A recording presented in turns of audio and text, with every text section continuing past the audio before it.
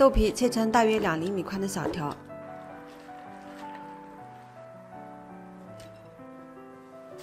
金针菇去掉根部，撕成小朵。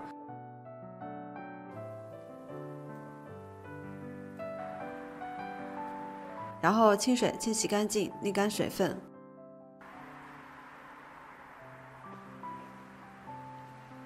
再用豆皮把金针菇打结。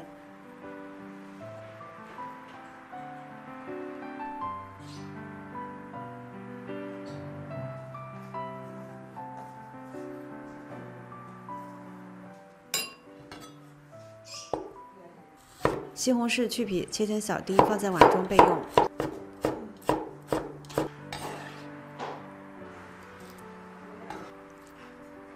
再来切点葱姜蒜备用。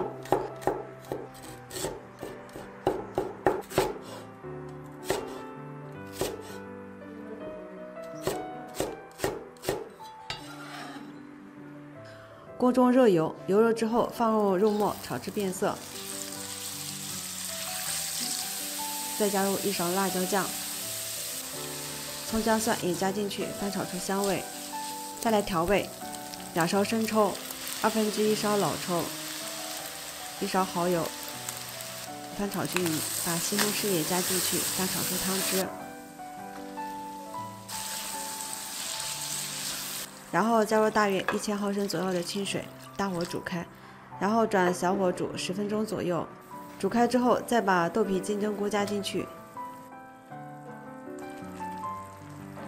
加入一勺半的盐调味，煮两分钟左右。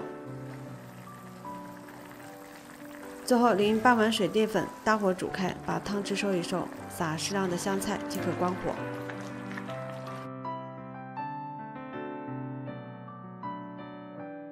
我们的豆皮金针菇浓汤就做好了，金针菇和豆皮入味儿，特别好吃，汤汁浓郁，拌饭也是超级的下饭。